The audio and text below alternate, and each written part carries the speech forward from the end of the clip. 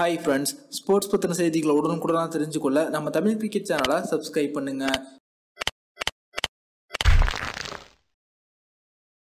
Australia மற்றும் New Zealand இந்த இரண்டு அணிகளுக்கு இடையே நடந்த முதல் ஒரு நாள் போட்டியில் பார்த்தீங்கன்னா தற்போது இதுவரைக்கும் எந்த நாட்டு வீரர்களுக்கும் ஏற்படாத ஒரு புதிய அனுபவம் இந்த இரண்டு நாட்டு வீரர்களுக்கும் ஏற்பட்டிருக்கு.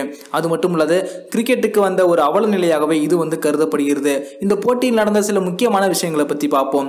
ஆஸ்திரேலியா மற்றும் நியூசிலாந்து அணிகளுக்கு இடையே பார்த்தீங்கன்னா மூன்று போட்டிகள் கொண்ட ஒரு நாள் தொடரில் முதல் போட்டி நேற்று ஆஸ்திரேலியாவில் நடந்தது.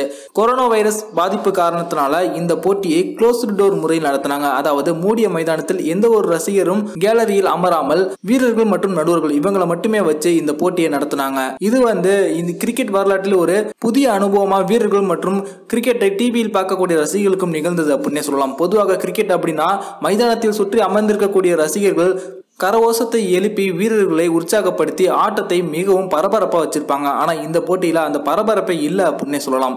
இந்த போட்டியில் முதல்ல பேட்டிங் செய்த ஆஸ்திரேலிய அணி ஐம்பது ஓவருக்கு ஏழு விக்கெட் இழப்பிற்கு இருநூத்தி ஐம்பத்தி எட்டு ரன்கள் எடுத்தாங்க. ஆனால் நியூசிலாந்து அணி நாற்பத்தி ஓரு ஓவர்களுக்கு நூற்றி எண்பத்தி ஏழு ரன்களுக்கு அனைத்து விக்கெட்டுகளையுமே இழந்துட்டாங்க. நியூசிலாந்து அணி தன்னுடைய சொந்த மண்ணில் பலம் வாய்ந்த இந்திய அணியை மூன்றுக்கு ஜீரோ என்ற கணக்கில் வாஷ் அவுட் செய்திருந்தாலும் ஆஸ்திரேலிய அணியிடம் இது போல ஒரு மோசமான தோல்வி சந்திச்சிருக்காங்க. ரசிகர்கள் யாருமே இல்லாத காரணத்தினால இந்த போட்டியில் பல சுவாரஸ்யமான சம்பவங்களும் நடந்தது. ஆஸ்திரேலிய அணியின் வீரரான டேவிட் வார்னர் அரை சதம் அடித்ததை அவங்க மறந்துட்டாங்க.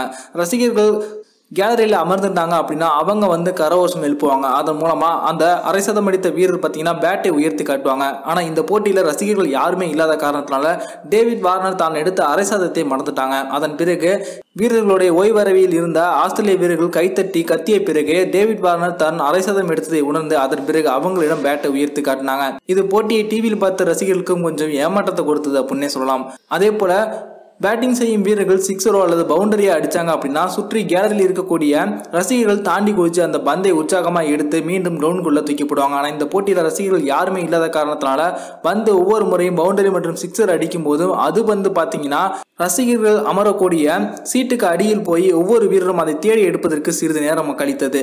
அதன் பிறகே அவங்க பந்தை கண்டுபிடித்ததுக்கு அப்புறம் தான் போட்டி துவங்கியது. இதுவும் வந்து விளையாடிய கிரிக்கெட் வீரர்களுக்கு கொஞ்சம் ஒரு புதிய விதமான அனுபவமாகவும் இருந்தது. அதே நேரம் இந்த போட்டியில் இருந்த சுவாரஸ்யத்தை முழுமையாக இது குறைத்து விட்டது. கொரோனா வைரஸ் பாதிப்பினால் தற்போது விளையாட்டுத்துறை இந்த அளவுக்கு பாதிக்கப்பட்டிருப்பது விளையாட்டு ரசிகர்களிடையே பெரிய சோகத்தையும் ஏற்படுத்தியிருக்கு. இந்த வீடியோ உங்களுக்கு பிடிச்சிருந்துச்சுன்னா லைக் பண்ணுங்கள் ஷேர் பண்ணுங்கள் நன்றி.